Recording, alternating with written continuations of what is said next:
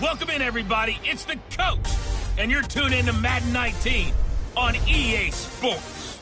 We're just about set to get started, and this ought to be a good one between the Pittsburgh Steelers and the Cleveland Browns.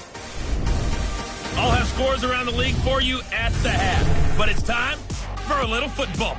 So we'll hand it over to our broadcast team, Brandon Gaudin and Charles Davis.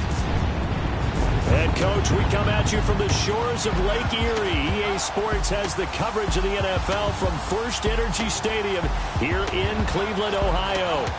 Nothing like the fanfare of introductions to an NFL game, and that was in evidence a moment ago.